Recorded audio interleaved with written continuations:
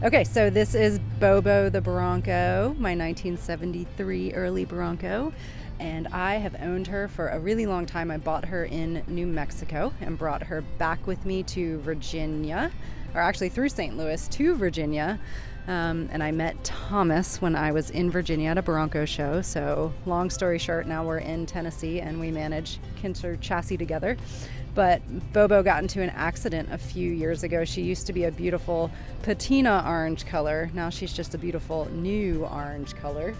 Um, but it's the same orange that she used to be. We had it mixed up to be as close as she could be to original. Um, and she sits on a Freeway Series chassis. Um, so she's got two and a half inches of suspension lift, two inches of body lift to be able to run the Cummins 2.8 turbo diesel with a 6R80 automatic transmission and an Atlas transfer case behind her.